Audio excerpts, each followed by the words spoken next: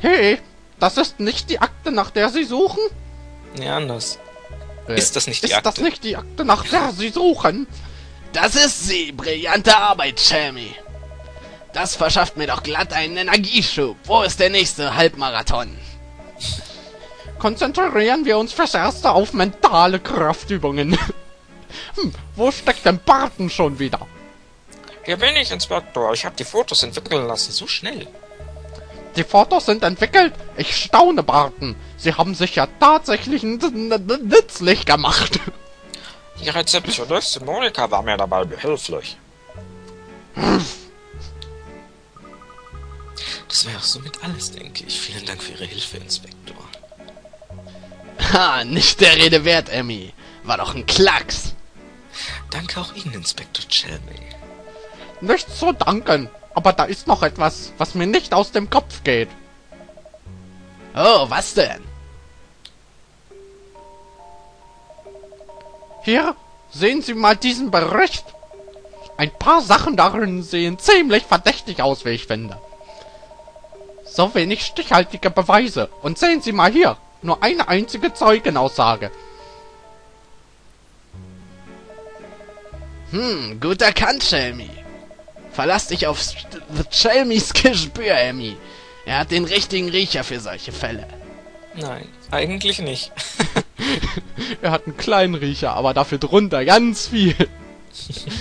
Wisst ihr was? Mir reicht's jetzt. Emmy, ich komme mit dir. Wa was? Ja, wieso denn? Shelmy, Sie übernehmen so lange meine Arbeit und halten Sie meinen Fanclub bei Laune. Nein, kann er nicht Chelmy mitschicken? Und Barton? ja.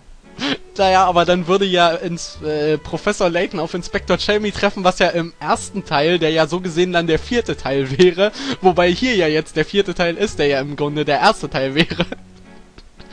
äh, jedenfalls in der chronologischen Abfolge würden sich Chelmy und ähm, äh, Layton erst später begegnen. Die könnten sich ja zufällig immer verpassen oder so. Das wäre lustig, ja. So Slapstick-mäßig, ne? Eine geht zur Tür raus, der andere kommt durch die andere Tür rein oder irgendwie so. Ganz genau. Ist klar. Wie soll ich das bei der enormen Mitgliederzahl bitte anstellen? Ey, geh ins Fitnessstudio, Jamie. Mach mal hier ein paar ordentliches, ordentliche Kraftübungen. Und nicht bloß Eier schaukeln. Schöne Reise, Goroski. Ich will Barton nochmal ansprechen. Okay. Na los, ab mit ihnen! Vor Ort sind sie von größerem Nutzen, Mann. Danke, Shelmy. Ich brauche dringend ein wenig Auslauf. Das ist eine Ermittlung, kein Sportausflug. Oh Mann. Sportausflüge werden nämlich organisiert durch... Nein, das sage ich jetzt nicht. Ah je. Saft durch Bäume.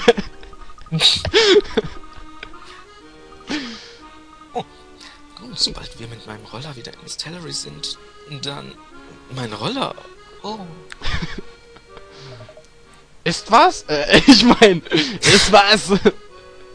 Naja, ich bin auf meinem Roller nach London gekommen und der hat nur einen Sitz. Übereinander gestapelt. Und zwar eher auf ihrem Rücken.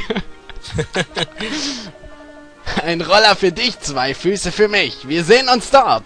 Ich brauche etwas Bewegung. Der will jetzt nicht wirklich nach Miss Tellery laufen, oder? ja, sie wollen laufen.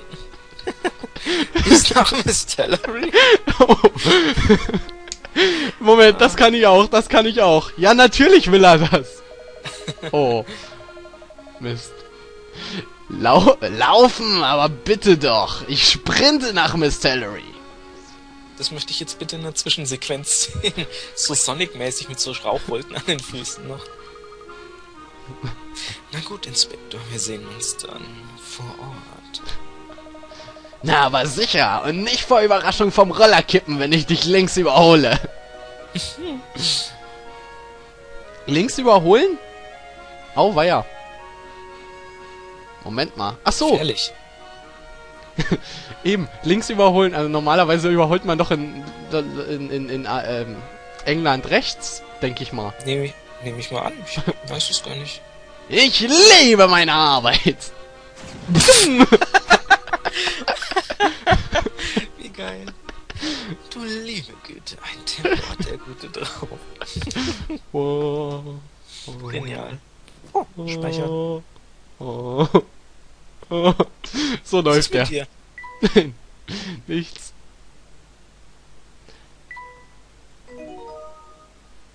Man sieht dann nur, wie er so zeitlupenmäßig läuft. Oh, Jakes, der Unfehlbare.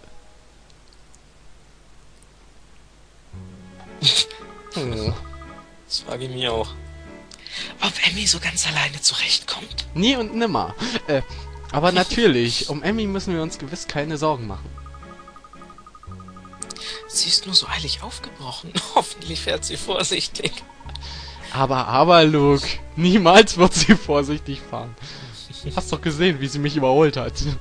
Am Anfang des Ganzen. Nee, hat er nicht gesehen. Nein? Stimmt. Stimmt, er war da gar noch nicht da.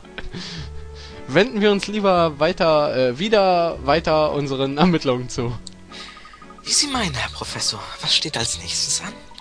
Pennen gehen, Fernsehen gucken. Äh, wir haben noch so einiges über den verstorbenen Herrn Bart in Erfahrung zu bringen. Ariana verriet uns, dass die Menschen in Mystery nicht gut auf ihren Vater zu sprechen waren. Das sagte sie, ja. Und glaubst du, dass dies der Wahrheit entspricht, Luke? Also ganz unter uns, Professor. Meist habe ich keine Ahnung, was und wie Erwachsene so denken. Haha, schön gesagt, Luke. In jedem Fall müssen wir die Sache, äh, müssen wir der Sache nachgehen, wenn wir Arianas Vertrauen gewinnen wollen. Sie haben wohl recht. Hören wir uns noch ein wenig auf der Straße um. Oh, Hoppla.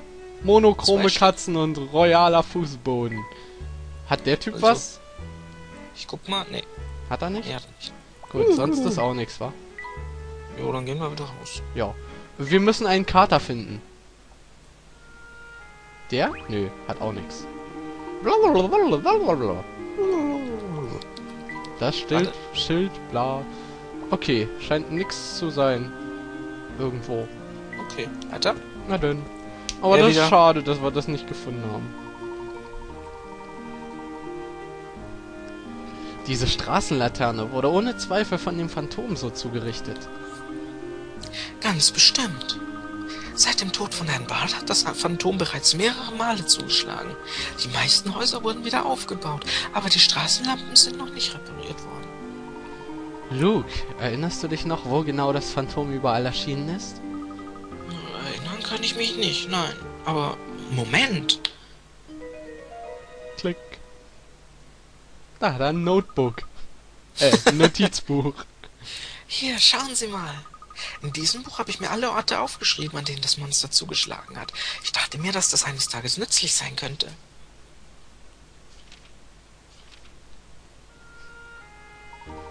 Ich, ich bin sprachlos, Luke. Was denn? Sind die Aufzeichnungen etwa nicht gut genug? Ganz im Gegenteil, Luke. Dein Forschertalent ist überaus beeindruckend. Meinen Respekt.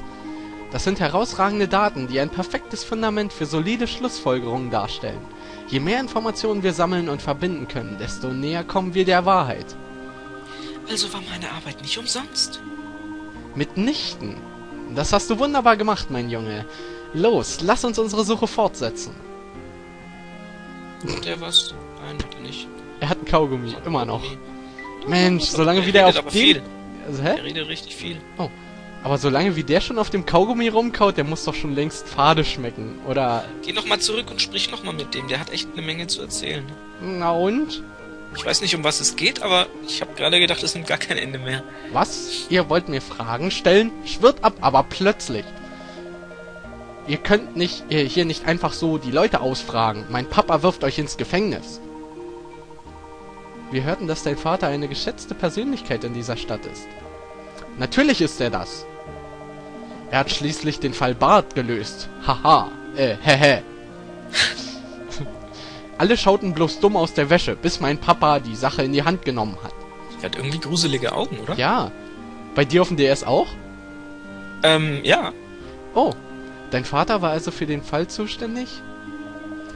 Na sicher doch, er hat Barts Testament zu sichergestellt und einen Augenzeugen gefunden.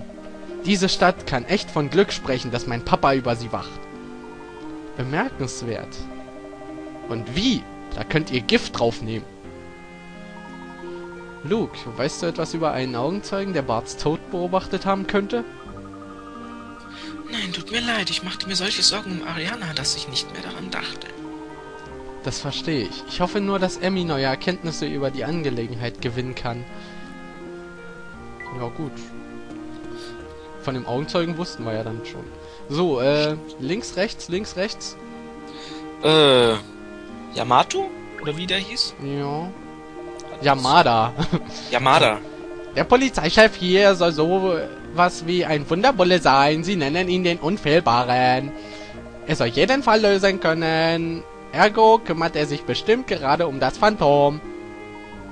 Ein Polizist ohne offene Fälle muss in der Tat außerordentlich begabt sein. Ein fähiges Köpfchen ist ja toll und so, aber das alleine reicht heutzutage nicht mehr. Die Frisur auf dem besagten Köpfchen muss mindestens genauso glänzen wie bei mir. Wie auch immer, die Polizei scheint wirklich immer genau den richtigen, äh, die richtigen Viertel zu räumen. Luke, sagtest du nicht, dass Doland die Leute nach deinen Voraussagen warnt?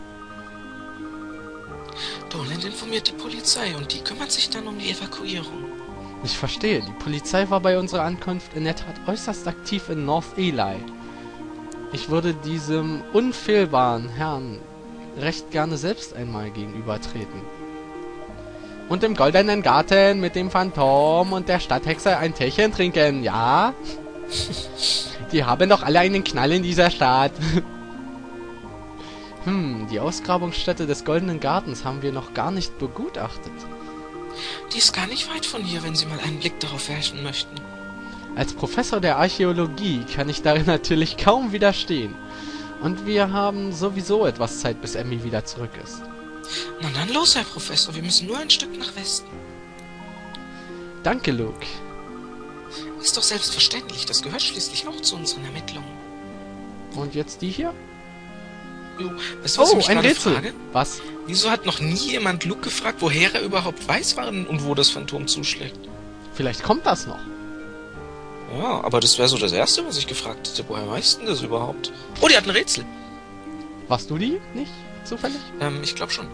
Eigentlich wollte ich die Stadt wegen der zunehmenden Angriffe ja verlassen. Aber dank Polizeipräsident Jakes fühle ich mich wieder sicher. Er hat mir sogar angeboten, mich für die Unannehmlichkeiten zu entschädigen. In Naturalien. Ah, auf dem Lande kümmern sich die Behörden eben noch um ihre Bürger. Dabei wurde unsere Einreise nach Miss Tillery anfangs verweigert. Die Legende vom Goldenen Garten hat uns hierher geführt. Aber erst wies man uns ab. Wie haben sie sich dann Zutritt, Zutritt verschafft? Die Straße war abgeriegelt, wissen Sie? Aber dann sind wir drüber geklettert. Nein. Ah, so ähnlich. Über eine Meine Straße. Freundin und ich über die Berge gekommen. Das Phantom erschien gleich während unserer ersten Nacht in der Stadt. Die Polizei hat schnell reagiert. Sie riegelte alles ab und ich konnte keinen Blick erhaschen. Und seitdem halten sie sich hier auf, ist das richtig? Nun, ich wollte den weiten Weg nicht umsonst auf mich genommen haben. Und alle hier sind so freundlich. Meiner Freundin war der ganze Hokuspokus aber nicht geheuer und sie hat sofort Reis ausgenommen. Oh, hier ist ein Foto von ihr. Könnt ihr erraten, welche von den Frauen sie ist? Nein. Beste Freundin. Beste Freunde! Hier siehst du meine beste Freundin. Sie hat blondes Haar, trägt keine Brille und hat ein Muttermal unter dem rechten Auge. Findest du die beste Freundin? ja. Sie trägt keine Brille. Muttermal unter dem rechten Auge. Ah. Äh. E.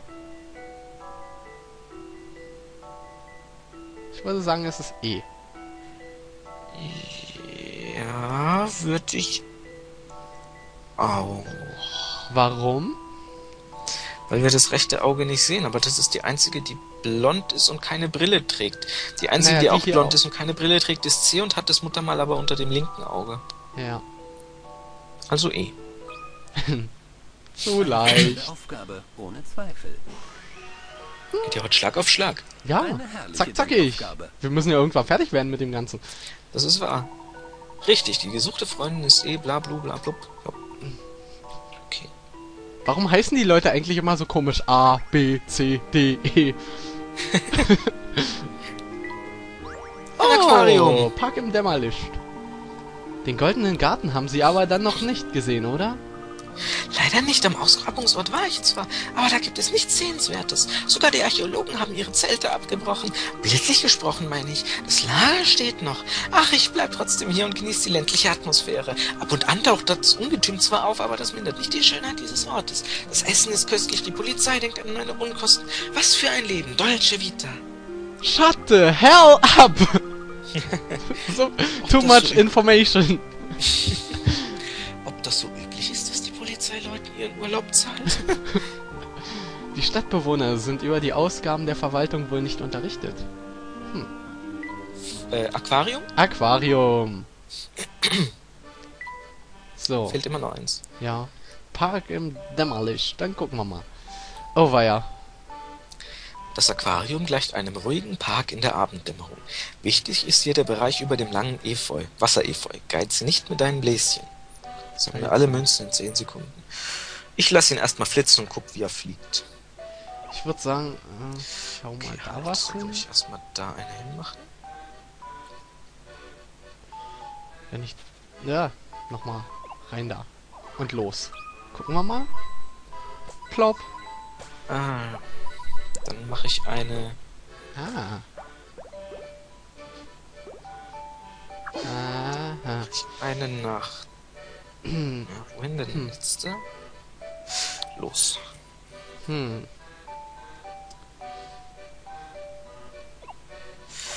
Warte mal, da hinten muss irgendwie.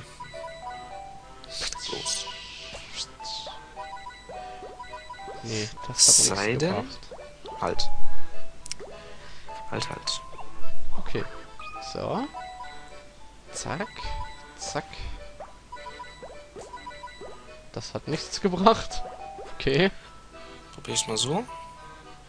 Also das ist Nee, auf das jeden ist Fall falsch. Das ist Käse, was ich jetzt gemacht habe. Los. Hm. Hm. Oder? Mhm. Los.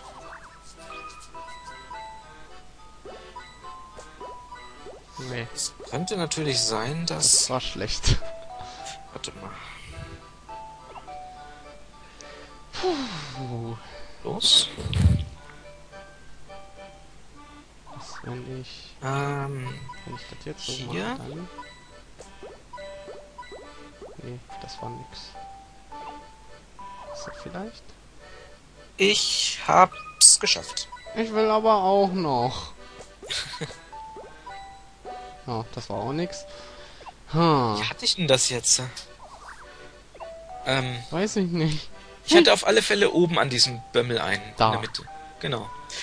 Und die anderen beiden hatte ich rechts auf der Seite. Und zwar einen unten. Ganz unten. Rechts auf der Seite. Ach, rechts. Ganz unten, hier? Ganz unten den anderen. Hm? Äh, einen, einen weiter rechts, den unteren. Genau. Und Den da. Und den dritten hatte ich, glaube ich. Warte, das will ich selber. Ich will selber Achso, erstmal. Genau so habe ich's. So, Jetzt weiß ich's wieder. und... Äh, an dem hier? Mhm, genau.